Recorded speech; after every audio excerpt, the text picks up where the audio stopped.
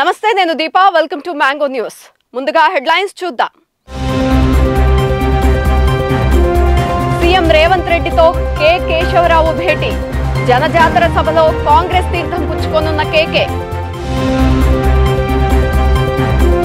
కడియంను కాంగ్రెస్లోకి ఆహ్వానించిన దీపాదాస్ మున్షి. రెండు మూడు రోజుల్లో కాంగ్రెస్ కూటికి శ్రీహరి. మనది విజన్ జగన్ ది పాయిజన్.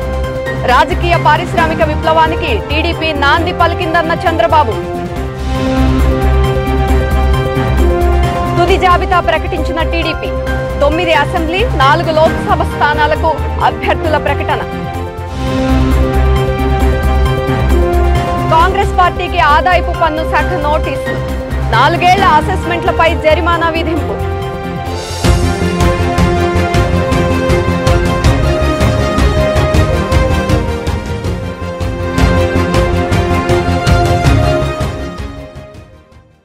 ఇక డీటెయిల్స్ చూద్దాం. Station Ghanpur MLA Kadiyam Srihari Kadiyam Kavya car దిగేందుకు సిద్ధమయ్యారు. త్వరలోనే వారు అధికార పార్టీలో చేరనున్నారు. శుక్రవారం దీపాదాస్ మున్షి పలువురు కాంగ్రెస్ నేతలు కడియం శ్రీహరి కడియం కావ్యలతో సమావేశమయ్యారు. వారిని కాంగ్రెస్లోకి ఆహ్వానించారు. ఆ తర్వాత కడియం శ్రీహరి మీడియాతో మాట్లాడారు. కాంగ్రెస్ నేతలు తనను పార్టీలోకి ఆహ్వానించారని తెలంగాణలో పార్టీని బలోపేతం చేయాలని వారు కోరినట్లుగా వెల్లడించారు. తన అనుచరులు కార్యకర్తలతో చర్చించాక ఒకటి రెండు రోజుల్లో నిర్ణయం వెల్లడిస్తానని తెలిపారు. పలు కారణాల వల్ల రాష్ట్రంలో రోజు రోజుకు బీఆర్ఎస్ బలహీనపడుతోందని కడియం శ్రీహరి వెల్లడించారు. దీపాదాస్ మున్షి గారు వారితో పాటు ఏఐసిసి సెక్రటరీలు చౌదరి గారు విష్ణు గారు ఏఐసిసి ప్రతినిధులుగా పిసిసి ప్రతినిధులుగా సోదరులు మల్లు రవి గారు సోదరులు సంపత్ గారు సోదరులు డాక్టర్ సత్యనారాయణ గారు రోహిత్ రెడ్డి గారు. వీళ్ళందరూ కూడా ఈరోజు మా ఇంటికి రావడం జరిగింది. వారందరూ కూడా అటు ఏఐసి నుంచి ఇటు ఏఐసిసి నుంచి ఇటు పిసిసి నుంచి మీరు పార్టీలోకి రావాలి. తెలంగాణలో కాంగ్రెస్ పార్టీని బలోపేతం చేయడానికి మాతో కలిసి పనిచేయాలని చెప్పి ఒక ఆహ్వానం నాకు ఇచ్చారు. నేను నా శ్రేయోభిలాషులు నాతో ఇన్ని రోజులు కలిసి ప్రయాణం చేసిన కార్యకర్తలు వాళ్ళందరితో కూడా మాట్లాడి త్వరలోనే నా నిర్ణయాన్ని చెప్తానని చెప్పి పెద్దలు దాస్ మున్షి గారికి తెలియజేయడం జరిగింది. In a day or two I will take a decision after consulting my followers and after consulting my well wishers and my workers అభ్యర్థిగా సంచరించుకునేది కాంగ్రెస్ పార్టీ నేను ఇంకా కాంగ్రెస్ పార్టీలోనే చేరలేదు. అప్పుడే కాంగ్రెస్ పార్టీ అభ్యర్థిగా పోటీ చేస్తామని ఎలా చెప్తారు? కాబట్టి at I have not taken a decision పోటీ చేసే అవకాశం I have to take a decision first then I will think మీరు మీరు మీ క్యాడర్కి ఏం చెప్తారు సార్? అంటే ఈ నా క్యాడర్కి నేను మాట్లాడే విషయాలన్నీ మీకు చెప్పను కాదు. కదా సార్ బీఆర్ఎస్ అన్ని అవకాశాలు ఇచ్చినా ఒక్కొక్కరు చేజారిపోతున్నారు కేకే విషయంలో కానీ మీ విషయంలో కానీ అంటే ఏం జరుగుతుంది పార్టీలో? For various reasons party is losing ground for various reasons people are moving away from BRS so to serve the people and to do something for the constituency Lok Sabha ఎన్నికల వేళ బీఆర్ఎస్ పార్టీకి షాక్ల మీద షాక్లు తగులుతున్నాయి. ఆ party ముఖ్య నేతలు అధికార పార్టీలోకి jump అవుతున్నారు. బీఆర్ఎస్ అధినేత కేసీఆర్కు అత్యంత దగ్గరి వ్యక్తిగా పేరున్న కె కేశవరావు ఆయన కుమార్తె గద్వాల విజయలక్ష్మి కాంగ్రెస్ తీర్థం పుచ్చుకునేందుకు సిద్ధమయ్యారు. శుక్రవారం ముఖ్యమంత్రి రేవంత్ రెడ్డితో కేకే సమావేశమయ్యారు. కాంగ్రెస్లో చేరే అంశంపై రేవంత్ రెడ్డితో కేకే చర్చించారు.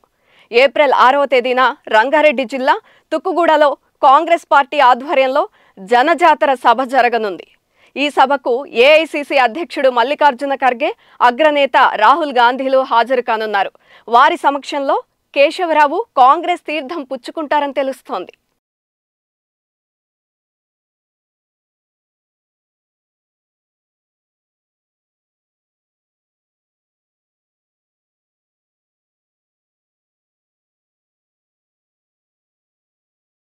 ఏపీలో ఎన్నికలు ముంచుకొస్తున్న వేళ తెలుగుదేశం పార్టీ దూకుడుగా ముందుకెళ్తోంది. శుక్రవారం తుది అభ్యర్థుల జాబితాను ప్రకటించింది టీడీపీ. పెండింగ్లో ఉన్న తొమ్మిది అసెంబ్లీ నాలుగు పార్లమెంటు స్థానాలకు అభ్యర్థులను ఖరారు చేసింది. మాజీ మంత్రి గంటా శ్రీనివాసరావుకు భీమిలి టికెట్ కేటాయించింది. విజయనగరం లోక్సభ స్థానం నుండి కలిశెట్టి అప్పలనాయుడును ఒంగోలు లోక్సభ స్థానం నుండి మాగుంట శ్రీనివాసరెడ్డిని అనంతపురం లోక్సభ స్థానం నుండి అంబికా లక్ష్మీనారాయణను కడప లోక్సభ స్థానం నుండి భూపేష్ రెడ్డిని బరిలోకి దించుతోంది.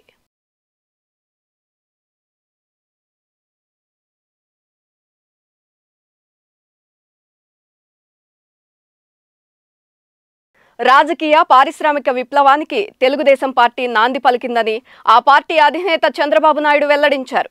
పేదల సంక్షేమం కోసం తెలుగుదేశం పార్టీని ఎన్టీఆర్ ఏర్పాటు చేశారని తెలిపారు. సంపద సృష్టించి పేదలకు పంచడమే టీడీపీ ధ్యేయమన్నారు. విద్యుత్ రంగంలో ఎన్నో సంస్కరణలు తీసుకువచ్చామని పోలవరం ప్రాజెక్టును డెబ్బై రెండు శాతం పూర్తి చేశామని వివరించారు. బనగానపల్లె ప్రజాగళం ప్రచార యాత్రలో మాట్లాడుతూ చంద్రబాబు ఈ వ్యాఖ్యలు చేశారు. పెట్టుబడులు పెద్ద ఎత్తున రావాలని పెట్టుబడుల కోసం ముందుకు పోయాం. నీళ్ళుంటే ఏదైనా సాధ్యం నేను చెప్తాను. కడాన కియా మోటార్స్ని ఒక వెనుకబడిన జిల్లా పేద జిల్లా అనంతపూర్ జిల్లాకు తీసుకొచ్చిన ఘనత తెలుగుదేశం పార్టీది. అమరావతి నిన్న కూడా మాట్లాడుతున్నాడు సైకో ముఖ్యమంత్రి. మూడు రాజధానులు చేశాడంట. కర్నూలు రాజధాని అయిపోయిందా? అయిపోయిందా అని అడుగుతున్నా మిమ్మల్ని. అభివృద్ధి అయిపోయిందా అని అడుగుతున్నా మిమ్మల్ని. మూడు ముక్కలు ఆటాడి మూడు రాజధానుల పేరుతో అసలు రాజధాని లేకుండా చేసిన దుర్మార్గుడు మన చిరునామా లేకుండా చేసిన వ్యక్తి ఈ వ్యక్తి. నేను ఎప్పుడో ఒకటి ఆలోచించేవారిని. అభివృద్ధి సమిక్షేమం సంపద సృష్టించడం వచ్చిన సంపద మళ్ళా ఈ పేదవాళ్ళకు పంచాలనే కార్యక్రమంతో ముందుకు పోయాం. ఈరోజు నేను ఒకటి ఆలోచిస్తున్నాను. పేదవాళ్ళందరికి అండగా ఉంటాం. భవిష్యత్తులో ఏం చేసినా మీకోసమే పనిచేస్తా. నా పట్టుదల మీకు తెలుసు. విజయం సాధించే వరకు పేదరికం లేని రాష్ట్రాన్ని తయారు చేసే వరకు మీకు అండగా తెలుగుదేశం పార్టీ ఉంటుంది. ఇక్కడ రైతులున్నారు. రైతన్నలారా మీరు బాగున్నారా? సబ్సిడీ వస్తున్నాయా? గిట్టుబాటు ధర లభిస్తా ఉందా? ఇరిగేషన్ ప్రాజెక్టులు పూర్తి చేశారా? మీ పొలాలకు నీళ్ళు వస్తున్నాయా? మహిళలు మీరు చెప్పండమ్మా మీకు రక్షణ ఉందా? నిత్యావసర వస్తువుల ధరలు అందుబాటులో ఉన్నాయా? ఈ ముఖ్యమంత్రి ఇచ్చేది పది రూపాయలు దోచేది వంద రూపాయలు అవునా కాదా? ఈ పరిపాలన మీకు కావాలని అని అడుగుతున్నా. యువత ఈరోజు మీ ఉత్సాహం చూస్తున్నా. ఎగిరెగిరి ఆకాశంలో పడుతున్నారు. మంచి ఎండ. ఎండ మిమ్మల్ని చూసి భయపడింది కానీ మీరు ఎండకు భయపడలేదు. ఒక దృఢమైన సంకల్పంతో వచ్చారు. ఆ సంకల్పం ఫ్యాన్ని చిత్తు చిత్తు చేసి ముక్కలు ముక్కలుగా కొట్టేసి డస్ట్బిన్లో పారేయాలని అవునా కాదా? చెత్త కుండీలో ఫ్యాన్ పారేస్తే తప్ప మన ఎవ్వరికి భవిష్యత్తు లేదు. పెట్టుబడులు వచ్చాయా పిల్ల యువత? ఏమమ్మా మీ అబ్బాయికి ఉద్యోగం వచ్చిందా? మీ అమ్మాయికి ఉద్యోగం వచ్చిందా? అందుకే నేను చూస్తున్నా ఎక్కడ చూసినా యువ కిషోరాలు. సింహ గర్జన చేయడానికి వచ్చారు. వీళ్ళతో సమానంగా చిన్న పిల్లలు కూడా వస్తున్నారు. వాళ్ళందరూ నాకు చూపించి రెండు వేలు చూపించి చంద్రన్న నువ్వే మాకు ఆధారం. మా భవిష్యత్తు మీ చేతుల్లో పెడుతున్నామని ఆ తల్లి తండ్రి చెప్తా ఉంటే నా బాధ్యత పెరిగింది. మీ భవిష్యత్తు మీ పిల్లల భవిష్యత్తు. భావితరాల భవిష్యత్తు కూడా నాంది బలకత కార్మికులు కూలీలు మీరు చెప్పండి. మీకు ఉపాధి దొరకతా ఉందని అడుగుతున్నా. భవన నిర్మాణ కార్మికులు మీరు చెప్పండి. మీకు పని దొరికిందా అని మిమ్మల్ని అడుగుతున్నా. బీసీలు ఎస్సీలు ఎస్టీలు మైనారిటీలు అడుగుతున్నా కార్పొరేషన్ నిధులు వచ్చాయా మీకు? ఒక్క రూపాయి రుణం ఇచ్చారా మీకు? ఒక్క రూపాయి సబ్సిడీ ఇచ్చారా మీకు? ఏ ఒక్కరికి సహాయం చేయలేదు. వీళ్ళందరూ అయిపోయారు. ప్రభుత్వ ఉద్యోగులు ఉన్నారు ఇక్కడ. ప్రభుత్వ ఉద్యోగులు అడుగుతున్నా ఏమయ్యా ప్రభుత్వ ఉద్యోగులు పోలీసులు కూడా ఉన్నారు. మీకు జీతాలు నెల నెలా వస్తున్నాయా? కొన్నిసార్లు నేను అడిగితే మీ అకౌంట్ కొడుతున్నారు.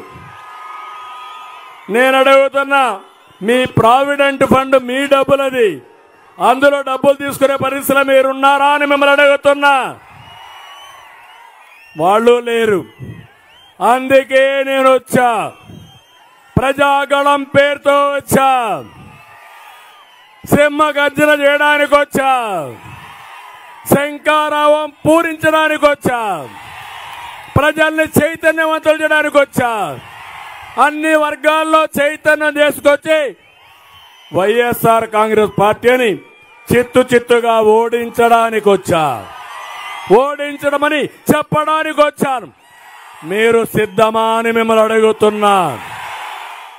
పెద్ద ఎత్తున బీఆర్ఎస్ నేతలు party ఫిరాయించడంపై BRS working president KTR X platform వేదికగా ఘాటుగా స్పందించారు.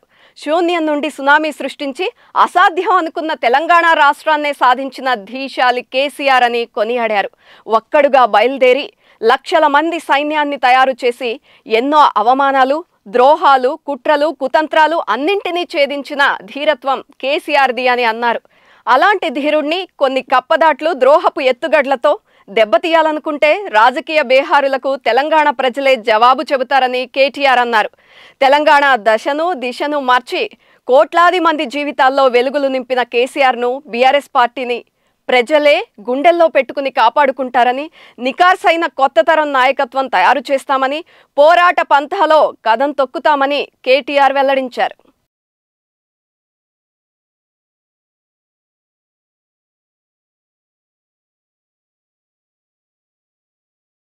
ఇక కడియం శ్రీహరి ఆయన కుమార్తె కడియం కావ్య. కాంగ్రెస్ పార్టీలో చేరేందుకు సిద్ధమవడంపై మాజీ ఎమ్మెల్యే వినయ్ భాస్కర్ భగ్గుమన్నారు. సిట్టింగ్ ఎమ్మెల్యే రాజయ్యను కాదని కడియానికి కేసీఆర్ టికెట్ ఇచ్చారని తెలియజేశారు. ఇప్పుడు శ్రీహరి నమ్మక ద్రోహం చేస్తున్నారంటూ మండిపడ్డారు. కాంగ్రెస్ నేతలతో కుమ్మక్కై కుట్రలు చేస్తున్నారని ఆగ్రహం వ్యక్తం చేశారు. శ్రీహరి ఎమ్మెల్యే పదవికి రాజీనామా చేసి పార్టీ మారాలి అంటూ డిమాండ్ చేశారు. ఆయన ఏ పార్టీలో ఉన్నా కార్యకర్తలను అణిచివేశారని ఆరోపించారు. ఎంతో మందిని బలి పశువుల్ని చేశారని విమర్శించారు.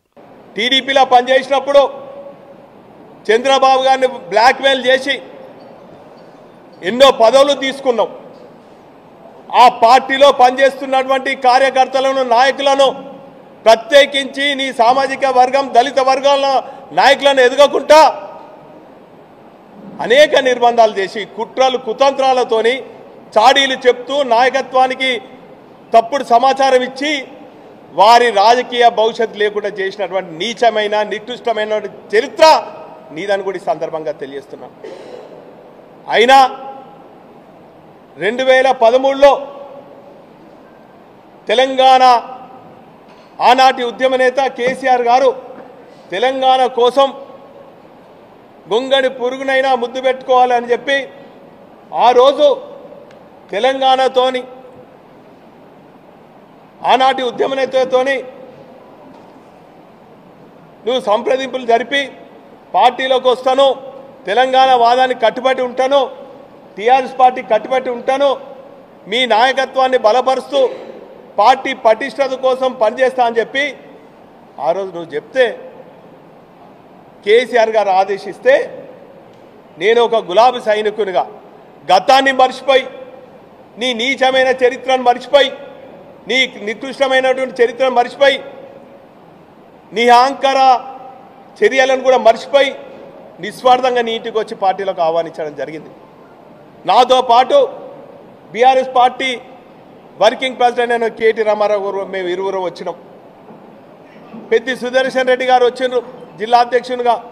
మేము నిస్వార్థంగా పార్టీ బలోపేతం కోసం తెలంగాణ కోసం ఈరోజు నేను ఆహ్వానిస్తే మాజీ ముఖ్యమంత్రి బీఆర్ఎస్ అధినేత కేసీఆర్ పై మంత్రి కోమటిరెడ్డి వెంకటరెడ్డి సంచలన వ్యాఖ్యలు చేశారు. సీఎంగా ఉన్నప్పుడు కేసీఆర్ చేసిన పాపాలే ఆయనకు చుట్టుకున్నాయని అన్నారు. యాదగిరిగుట్ట పేరును మార్చడమే కేసీఆర్ చేసిన మొదటి తప్పు అని వ్యాఖ్యానించారు. యాదాద్రి పేరును మళ్ళీ యాదగిరిగుట్టగా మారుస్తామని వివరించారు. యాదాద్రిలో అవినీతి జరిగిందని ఎన్నికల తర్వాత దానిపై విచారణ చేపడతామని కోమటిరెడ్డి వెంకటరెడ్డి వెల్లడించారు.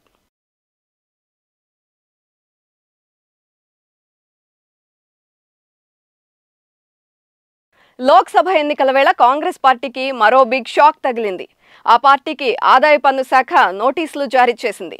పదిహేడు వందల కోట్ల రూపాయల బకాయి పన్ను రికవరీ చేయాలని నోటీసులు ఇచ్చింది రెండు వేల పదిహేడు పద్దెనిమిది నుండి రెండు వేల ఇరవై ఇరవై ఒకటి అసెస్మెంట్ సంవత్సరాలకు సంబంధించి పెనాల్టీ వడ్డీని కలిపి పన్ను రికవరీ చేయాలని నోటీసుల్లో పేర్కొంది.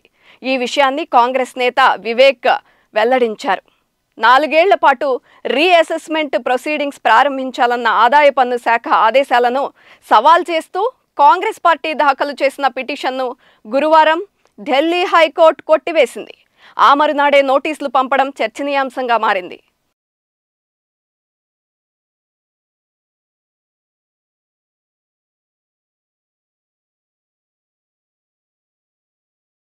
Delhi CM Kejriwal arrest Congress party bank ఖాతాలను స్తంభింపజేయడం వంటి అంశాలు దేశాన్ని కుదిపేస్తున్నాయి. ఈ వ్యవహారంపై ఇప్పటికే జర్మనీ అమెరికా దేశాలు స్పందించాయి. తాజాగా ఐక్యరాజ్య సమితి కూడా ఈ వ్యవహారంపై స్పందించింది. భారత్ సహా ఎన్నికలు జరగనున్న అన్ని దేశాల్లో ప్రజల రాజకీయ పౌర హక్కులకు రక్షణ ఉంటుందని భావిస్తున్నామని ఐక్యరాజ్య సమితి అధికార ప్రతినిధి స్టీఫెన్ డుజారిక్ వెల్లడించారు. ప్రతి ఒక్కరికి స్వేచ్ఛగా ఓటు వేసే వాతావరణం ఉంటుందని ఆశిస్తున్నామని వివరించారు.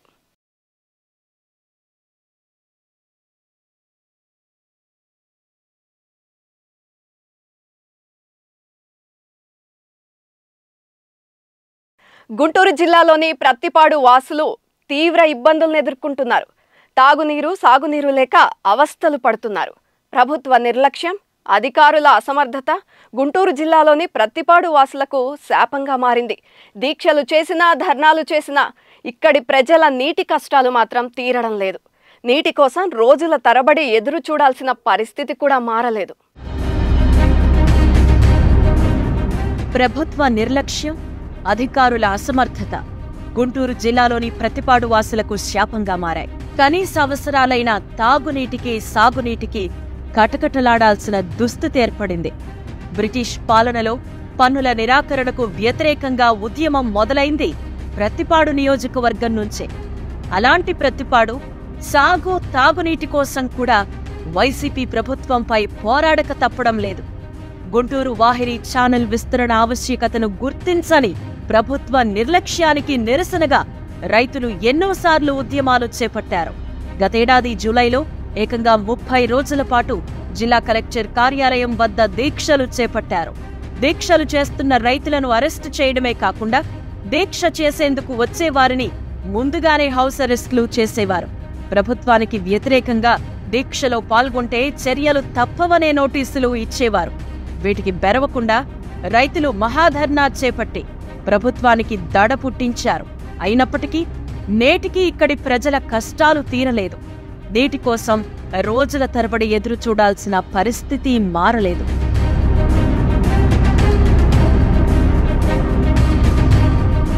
మునుపెన్నడూ లేని విధంగా ప్రతిపాడును తాగునీటి కష్టాలు వెంటాడుతున్నాయి. వర్షాభావ పరిస్థితులకు తోడు పాలకుల నిర్లక్ష్యమే ఇందుకు కారణం. వైసీపీ ప్రభుత్వం హయాంలో సాగర్ జలాలు విడుదల చేసినప్పటికీ వంకాయలపాడు మేజర్ కాలువకు నీరు చేరక ప్రతిపాడులోని చెరువులు పూర్తి స్థాయిలో నిండలేదు. ఉన్న అరకొర నీటినే అధికారులు ట్యాంకుకెక్కించి మూడు రోజులకొకసారి సరఫరా చేస్తున్నారు. చెరువు ఎండిపోయింది. బావులు లేవు. దీంతో స్థానిక ప్రజలు దిక్కుతోచని స్థితిలో నీటిని కొనుక్కొని తాగుతున్నారు. ఇది ప్రభుత్వ అసమర్థత కాదా అని తెలుగుదేశం నాయకులు ప్రశ్నిస్తున్నారు.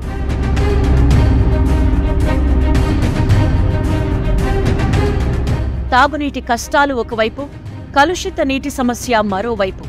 బోయపాలెం గొండ్రుపాడు తదితర గ్రామాల్లో తాగునీటిలో మురుగు కలుస్తున్న సందర్భాలు అనేకం. ప్రభుత్వ నిధులతో పనులు చేపట్టలేని వైసీపీ. కనీసం కేంద్ర ప్రభుత్వం చేపడుతున్న జల్ జీవన్ మిషన్ పనులకైనా రాష్ట్ర ప్రభుత్వ వాటా నిధులు పూర్తి స్థాయిలో విడుదల చేస్తే ప్రతిపాడులో నీటి కష్టాలు ఇంతలా ఉండేవి కావని కూటమి నాయకులు చెబుతున్నారు.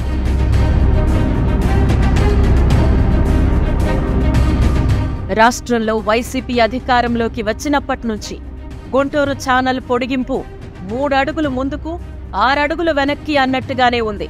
ఛానల్ పొడిగింపుతో యాభై గ్రామాల ప్రజలకు తాగునీటితో పాటు సాగునీటికి శాశ్వత పరిష్కారం లభిస్తుంది. దీనిపై నల్లమడ రైతు సంఘం అలుపెరుగని పోరాటం చేస్తున్నా నేటికి పూర్తి స్థాయిలో కార్యరూపం దాల్చలేదు. విభజన అనంతరం అధికారంలోకి అధికారంలోకొచ్చిన తెలుగుదేశం పార్టీ దశాబ్దాల కాలంగా కొనసాగుతున్న ఈ నీటి సమస్య పరిష్కారానికి ముందడుగు వేసింది. రెండు వేల పంతొమ్మిదిలో రెండు వందల డెబ్బై నాలుగు పాయింట్ ఐదు మూడు కోట్లు మంజూరు చేస్తూ ఉత్తర్వులు జారీ చేసింది. ప్రభుత్వం మారడంతో సమస్య మళ్ళీ మొదటికొచ్చింది. మరోసారి రైతుల పోరాటం ఫలితంగా స్పందించిన వైసీపీ సర్వేలంటూ హడావుడి చేసి పనులు పూర్తి చేయటంపై శ్రద్ధ పెట్టలేదు. కేవలం గుంటూరు జిల్లాలోని వట్టి చెరుకూరు ప్రత్తిపాడు పెదనందిపాడు మండలాల్లో సర్వే చేసి మమ అనిపించారు. దీంతో గుంటూరు ఛానల్ పొడిగింపు ప్రక్రియ ప్రశ్నార్థకంగా మారింది. గుంటూరు పార్లమెంటు నియోజకవర్గం నుంచి తెలుగుదేశం కూటమి అభ్యర్థిగా పోటీ చేస్తున్న డాక్టర్ పెమ్మసాని చంద్రశేఖర్ ఈ సమస్యలన్నింటిపైన దృష్టి సారించారు. కూటమి ప్రభుత్వం అధికారంలోకొచ్చిన వెంటనే వాటిని తీర్చే విధంగా ప్రణాళికలు సిద్ధం చేశారు.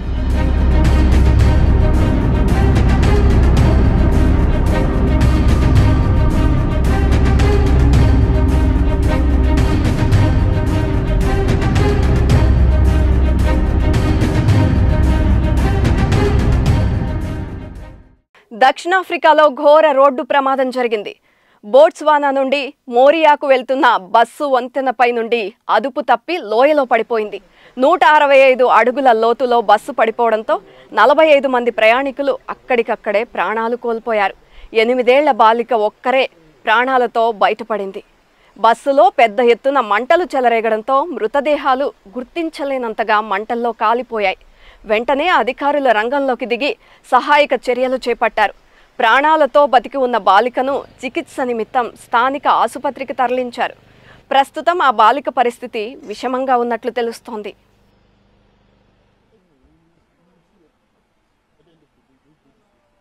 ఢిల్లీ క్యాపిటల్స్ విధ్వంసకర ఓపెనర్ పృథ్వీ షాను రెండో మ్యాచ్లోనూ బెంచ్కే పరిమితం చేశారు.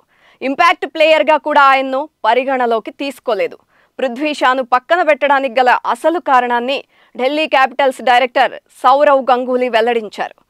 మిచెల్ మార్ష్ డేవిడ్ వార్నర్లతో ఓపెనింగ్ చేయించాలని నిర్ణయించినట్లుగా తెలిపారు. వారిద్దరూ ఆస్ట్రేలియాకు ఓపెనర్లుగా వ్యవహరిస్తున్నారని అద్భుతంగా రాణిస్తారని వివరించారు. Ricky Bhui middle order batter అని అతను ఏ స్థానంలోనైనా బ్యాటింగ్ చేయగలరని తెలిపారు. రికీ భుయ్ కోసమే పృథ్వీషాను పక్కన పెట్టలేదని విభిన్నమైన ఓపెనింగ్ కాంబినేషన్ కోసం ఈ నిర్ణయం తీసుకున్నట్లుగా గంగూలీ వెల్లడించారు. ఇవి వాల్టి బులెటిన్ విశేషాలు. Keep watching Mango News